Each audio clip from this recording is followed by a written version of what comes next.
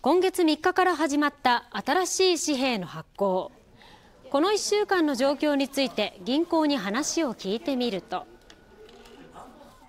1日の来店客数にもよるんですけれどもその日の半分ぐらいは両替のお客様が多いかと思います。その一方で想定していたよりかはお客さんが少なくてやはりキャッシュレス化の時代が来ているんだなというふうには感じておりますこうした中大分市ではこんなイベントが。1万円に近い金額をつかみ取った人が優勝。では私も挑戦します。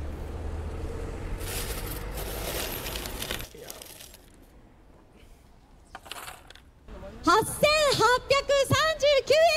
です。惜しい新1万円札の肖像となった渋沢栄一にちなみ炎の栄一と名付けられたこのゲーム。お金を手でつかみ合計が1万円に最も近かった人に1万円分の商品券が贈られます。今日の優勝者はなんとぴったり1万円をつかんだということです。